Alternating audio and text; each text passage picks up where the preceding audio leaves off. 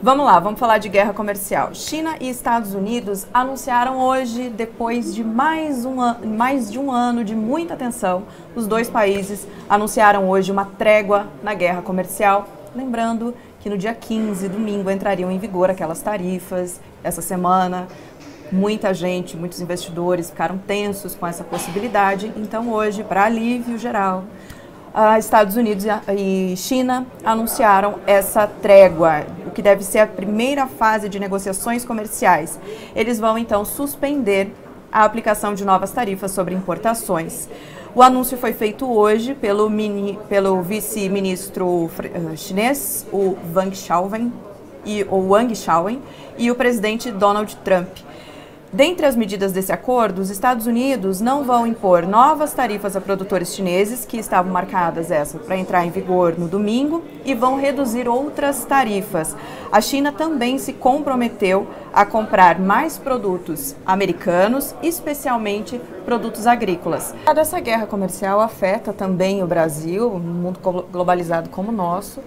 A gente viu aí mercados tensos, dólar subindo, tudo um pouco por causa também dessa guerra comercial. E tem também o anúncio do Donald Trump de impor tarifas no nosso aço e no nosso alumínio. Como que você vê a, as negociações, o papel do governo nesse cenário? É, o que mais me interessa nessa briga toda é o papel do Brasil e a posição do Brasil né, nessa relação diplomática nessa relação comercial. Nesse sentido, acho interessante reforçar que foi colocado ali pelo, pelo especialista é, da situação política do Trump e do fato dele estar muito próximo de uma eleição e precisar jogar para o público interno, né? É, que eu acho que é muito semelhante também à, à posição do Macron quando ele teve aquele atrito com, com o Bolsonaro. Ele também na questão ambiental estava jogando muito para dentro. Até porque ele estava precisando melhorar a avaliação dele, estava precisando melhorar a avaliação ruim. dele e que o seu, digamos, o Sérgio Moro francês, né, que era o ministro com melhor avaliação, que era o ministro do meio ambiente, pediu demissão ao vivo no rádio sem antes falar com o primeiro-ministro, sem antes falar com o seu chefe. Então, a imagem, principalmente no meio ambiente, nessa ascensão de todos os parlamentos europeus, você teve em média um aumento de 33% nas bancadas dos partidos verdes, né? E a França não foi diferente. Aliás, na França teve até um aumento um pouco maior. E jogando um pouco, você teve essa questão do Macron. Mas por que, que eu estou fazendo esse paralelo? Porque o Trump, ele se elegeu principalmente e a vitória dele nos estados que tradicionalmente eram os estados democratas, é, ele venceu ali no chamado é, Blue Belt, que basicamente são aqueles estados com muita indústria e que ele jogou para os trabalhadores daquela indústria em relação à imigração, né? Bom, o discurso é os imigrantes estão tomando os nossos empregos. E o outro discurso é a China está ultrapassando aqui a indústria americana e nós temos que proteger a indústria americana. Nesse sentido, não faz. É, é, é, não há razão para o governo brasileiro ser tão subserviente ao governo americano na medida em que as medidas protecionistas do governo Trump são prejudiciais para o Brasil.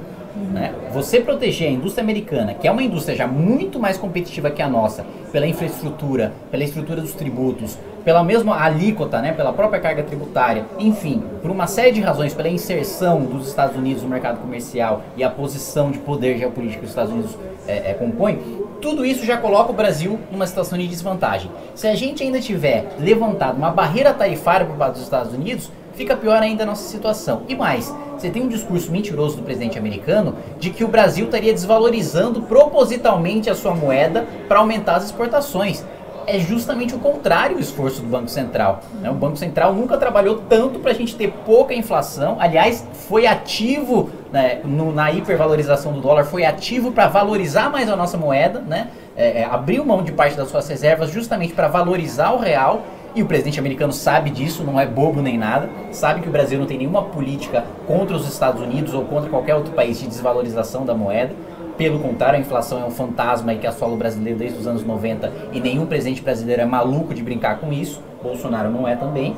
É, e com esse discurso ele impõe essa sanção e o governo brasileiro não faz nada. Né? O Bolsonaro, a desculpa que ele dá é: não, o Trump só anunciou isso no, no Twitter, mas efetivamente ainda a gente não teve nenhuma medida. O presidente mas o adotou uma linha. É o diário oficial do Trump. É, basicamente, como é do Bolsonaro. É basicamente como ele O presidente adotou uma linha muito próxima aos Estados Unidos também, né? Fica Sim. difícil numa situação não tem, dessas. Não tem problema você... ser próximo, ser alinhado ideologicamente aos Estados Unidos. O problema é você abrir mão do melhor interesse do seu país. Em detrimento de outro.